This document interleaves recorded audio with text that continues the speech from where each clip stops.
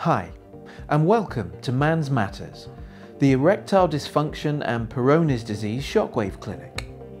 Today, I want to go back in time and look at the history of Peyronie's disease. Peyronie's disease, induratio penis plastica, the curvature of the penis, has been mentioned in literature as early as the 1500s. It is noted in the works of the famous Italian anatomist Gabriel Fallopius, a pioneer in reproductive organs, and Andreas Vesalius, a 16th century Dutch physician, and author of one of the most influential books on human anatomy, On the Fabric of the Human Body. But it was not until 1743 that a surgeon at the court of King Louis XV in France called Francois de la Peyronie outlined the disease in detail.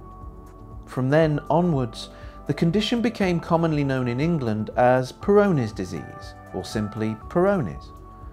The first surgery to correct Peyronie's disease and removal of fibrous plaque was performed in 1882. This followed in 1943 when both plaque was removed and the insertion of new tissue by Mr. O. S. Lowsley. In 1965, R. Nesbitt introduced a tucking technique that, although popular at the time, would reduce penis length by up to 8 centimeters.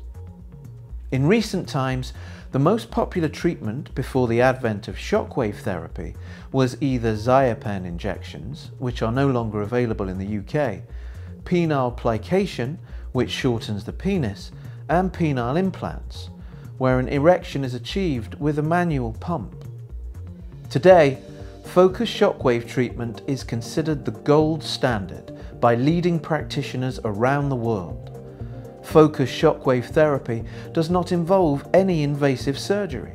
It can break down the fibrous plaque so it passes through the bodily waste system corrects any curvature or deformity, and increases sexual function.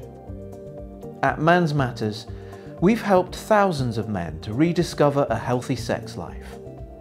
To learn more about our Shockwave Peyronie's disease treatment, visit our website at peyronie'sdisease.co.uk and check out our video, Peyronie's Disease Cure, which provides a comprehensive overview on all treatment options and a detailed animation of the shockwave therapy.